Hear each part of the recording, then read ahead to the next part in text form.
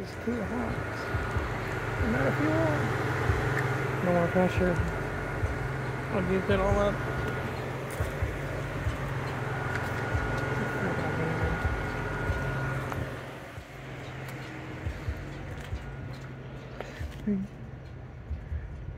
Even, the gas gauge is right there just registering E. That sucks. oh well, that's my update. The old one. I'm getting a reading. And no fuel.